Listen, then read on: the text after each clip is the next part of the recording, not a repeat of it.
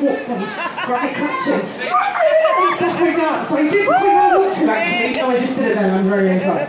Um, okay, we've got two more songs to go, I think. Yes, two more songs, so uh, enjoy.